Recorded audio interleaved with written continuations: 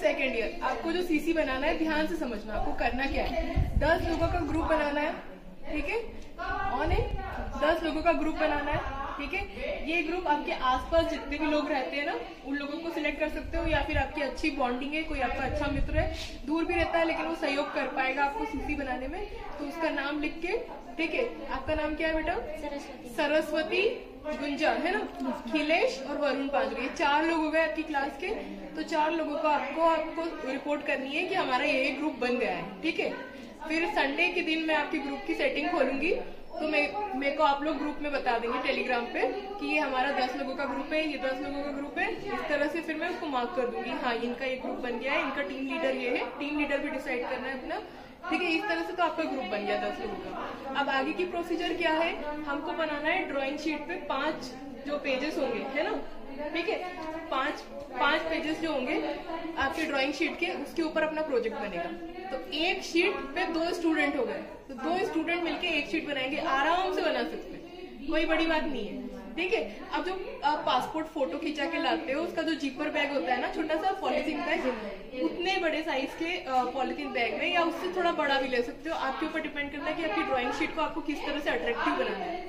ठीक है? उसके अंदर आपको केमिकल को डालना है। जैसे फॉर एग्ज़ाम्पल हम अगर लीव्स की बात करते हैं। लीव्स को हम ड्राई करते हैं हर्बेरियम बनाते हैं ना बॉटनी में। उसके बाद में उसका बायोडाटा लिखते हैं कि इसका स्पीशीज है, इसकी फैमिली है है ना?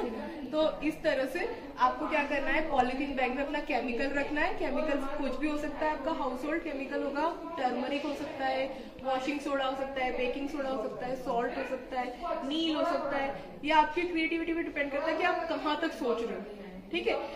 ये आपका केमिकल आपने लगा दिया। अब इसके बाद की प्रोसीजर क्या है?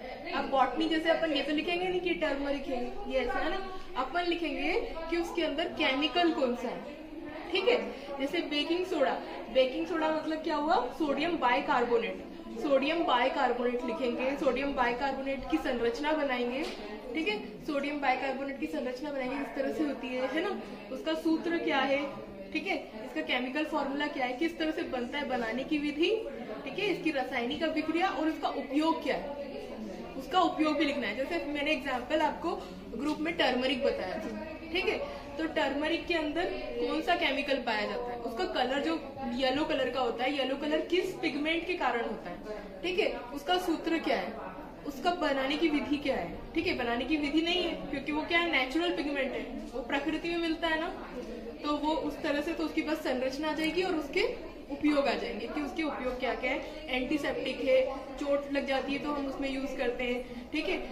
होम रेमेडी में यूज़ करते हैं, खाना बनाने में यूज़ करते हैं। तो इस तरह से आपको अच्छे से वो ड्राइंग शीट को बनाना है। तो दो बच्चे एक ड्राइंग शीट बनाएँगे और फिर दसों बच्चे मिलके अपना एक बुकलेट तैयार करेंगे, ठीक है? वो भी क्रिएटिव तरीके से तो एक बुकलेट में पाँच शीट रहेंगी। ठीक है? दस बच्चे, एक बुक बुकलेट ड्राइंग शीट की, दो बच्चों पे एक शीट आएगी, ठीक है? और एक बुकलेट पे पाँच शीट रहेंगी।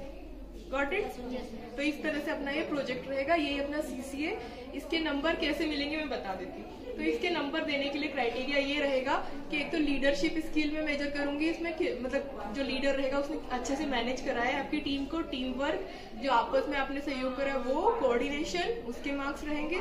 प्लस आपको उसके मार्क्स रहेंगे कि जो आप बना के लेके आए हो। ऐसा ना हो कि दस लोग हैं ग्रुप में और काम सिर्फ़ छह लोग कर रहे हैं। ठीक है? तो बाकी के चार लोग हैं, उनको फ्री के नंबर ना मिले, है ना? इसके लिए जब आप सबमिट करने आओगे आठ तारीख को, तब मैं एक एक से इंडिविजुअली जो जो पूरे बुकलेट में पाँच शीट है ना, ज़रूरी नहीं है कि जिसने जो एक शीट बनाई मैं वही पूछूँगी, उससे उसकी पाँचों शीटों के बारे में पूछूँगी कि जो केमिकल लगाया है, उसके बारे में वो कितना एक्सप्लेन कर पा रहा है। ठीक है? तो इससे क्या होगा कि उसका प्रेजेंट करने का तरीका भी, जो भी कम्युनिकेशन स्किल है, जो प्रेजेंट करता है ना तो वो भी ऑब्ज़र्व हो जाएगा, उसके भी मार्क्स हैं। ठीक है? और अगर आप ऐसा करते हो, आप शीट बना के सिर्फ़ घर पे दे देते हो किसी को कि तू जमा कर देना जाके, है ना? तो बस मेरा नाम लिख दो, जमा कर दो। तो जो आपका वो प्रेजेंटेशन के जो मार्क्स है, वो प्रेजेंटेशन के मार्क्स में काट दूँगी। ठीक है? तो अगर अच्छे मार्क्स चाहिए तो मन लगा कि आप काम करो। आपके पास में काफ़ी अच्छा समय है। तो अभी से जुट जाओ ग्रुप बना लो और फिर उस हिसाब से काम करो। और फिर भी कहीं पे डाउट आता है है ना? तो रोज 12 से दो कॉलेज के बीच में जिसको डाउट है वो सीसी में वो लोग आके मुझसे पूछ सकते हैं। ठीक है कहीं पे हेल्प चाहिए कुछ समझ नहीं आ रहा है या कुछ केमिकल मिल गया और कुछ नया आइडिया है कि हाँ ये भी हम कर सकते हैं मैम तो वो भी मेरे से डिस्कस कर सकते हैं। ठीक है? इसके अलावा किसी को कोई डाउट तो नहीं है ना? तो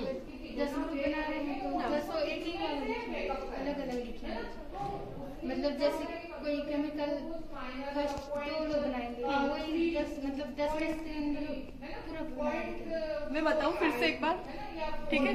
इसको बंद कर फिर से बताती हूँ मैं।